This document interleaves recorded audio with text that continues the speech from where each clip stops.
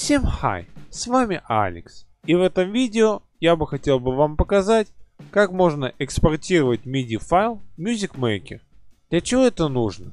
Ну, например, написать новую аранжировку, либо просто отредактировать MIDI файл, который вы создали в другом секвенсоре. Что для этого нам понадобится? Нам понадобится секвенсор Music Maker и MIDI файл. MIDI файл может быть любой. Можете использовать MIDI файл, который вы создали, либо который вы скачали с интернета. Давайте мы теперь откроем секвенсор и нажмем новый проект. Далее, для того, чтобы перетащить MIDI файл, вам нужно его выбрать и перетащить в Music Maker. Итак, мы перетащили. И что мы увидим? Мы сейчас видим какую-то кашу. Для того, чтобы отфильтровать инструменты так, чтобы они были отдельно, вам нужно будет нажать два раза на MIDI-шку, далее найти опции и здесь, во-первых, поставить не показывать фильтрированные данные MIDI, а во-вторых, вам нужно будет выбрать тот канал, который вам нужен.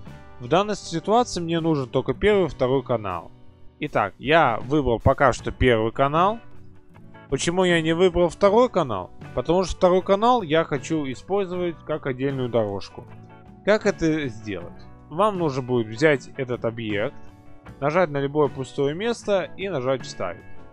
Далее вам нужно будет вот здесь перетащить. Теперь обязательно нажать MIDI Rec и снова нажать два раза левой кнопкой мыши и выбрать канал 2. Здесь мы убираем канал 1. И вот, как вы видите, у нас теперь мелодии и аккорды отдельно. И таким образом вы можете каждый инструмент фильтровать и обрабатывать. Давайте проверим, Music Maker подогнал нам правильный темп или нет. Как это сделать? Выбираем любой плагин. Я, например, выберу пианино, где мелодия. И выберу пианино, где у нас звучат аккорды. Включаем метроном и слушаем.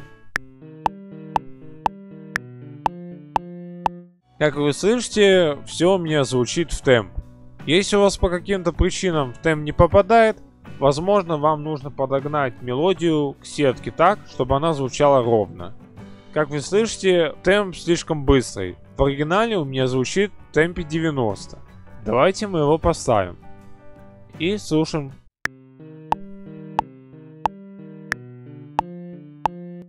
Если у вас по каким-то причинам мелодия звучит слишком тихо, то попробуйте покрутить крутилки здесь.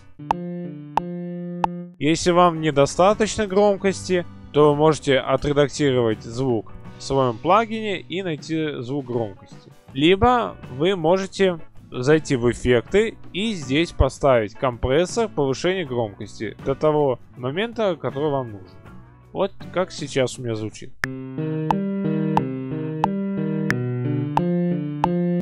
Но теперь у нас аккорды звучат сухо. Для того, чтобы это исправить, вам нужно будет зайти в этот плагин и включить реверберацию. В каждых плагинах свои настройки, поэтому советую вам посидеть и посмотреть, как это делается. Если вам недостаточно реверберации или у вас в плагине нету такой кнопки, тогда вам нужно будет передать аккорд в AUX канал. Давайте так и сделаем.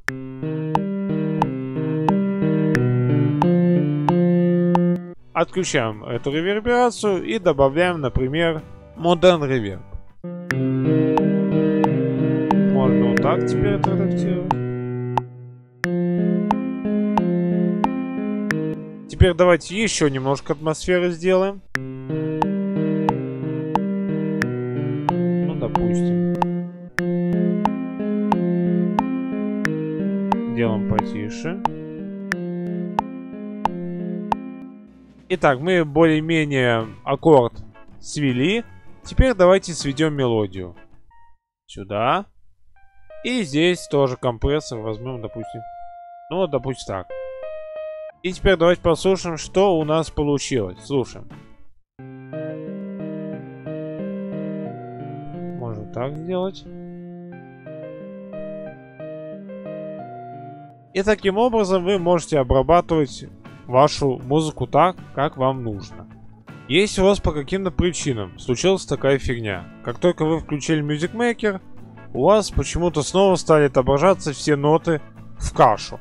Для того, чтобы это решить, нужно зайти в опции, MIDI фильтр каналов и нажать один. И так вам нужно будет делать каждый раз, когда вы с нуля запускаете Music Maker. Вы можете также добавить луп. Ну, например, сейчас я поставлю вот эти барабаны. Слушаем, как у нас сейчас.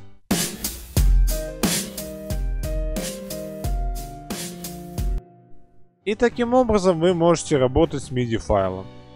Кому понравилось видео, поставьте лайк.